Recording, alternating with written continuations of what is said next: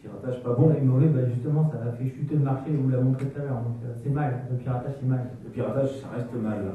Mais malgré tout, en se mettant dans la, dans la tête des gens, en, en 82, ils ont acheté des jeux, 3, 4, 5, 6 jeux, aussi chers que maintenant. hein. Les jeux ont toujours coûté aussi cher. Vous pouvez vérifier dans l'histoire, ça a toujours coûté 60 euros, ça a toujours été très cher.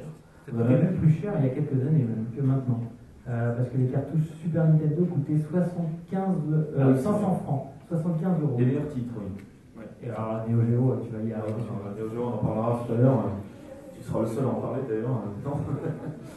Mais euh, non, donc il faut, en se mettant dans la tête des gens, ils se disent on a été dupés, on a acheté des jeux très chers, on a acheté plusieurs, ils étaient très mauvais, on a été dégoûtés.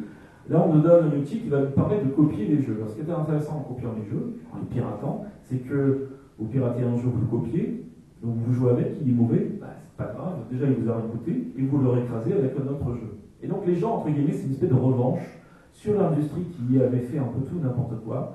Les gens prennent leur revanche comme ça, en euh, piratant massivement. C'est très mal, ça reste toujours très mal, et c'est ainsi que ça s'est produit. C'est une période extraordinaire.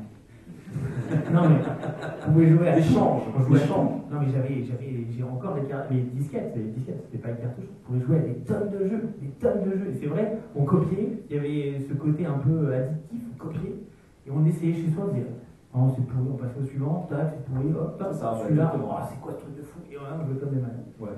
Et surtout, on a un grand échange, parce que vous imaginez, dans les cours de crédit de l'époque, il n'y avait pas encore Internet, eh bien, on s'échangeait les disquettes ou les cassettes. Et c'était, c'était phénoménal. J'ai dit, tiens, je te prête le jeu, tu me, t'en- tu me donnes le tien. Euh, c'était une, une période vraiment euh, un, peu, un peu obscure, mais très, très importante pour le développement du jeu vidéo. Et pour les plus jeunes qui, euh, qui sont là, on jouait pas avec un joypad à l'époque, on jouait soit clavier, avec euh, pas de souris, enfin un petit peu de souris, et Euh, joystick. C'est-à-dire que c'était un balai qu'on avait la plupart du temps avec peut-être un petit bouton, et euh, il n'y avait pas de joypad à l'époque. Ouais, ça c'est arrivé plus tard, avec le on va le voir, on y arrive.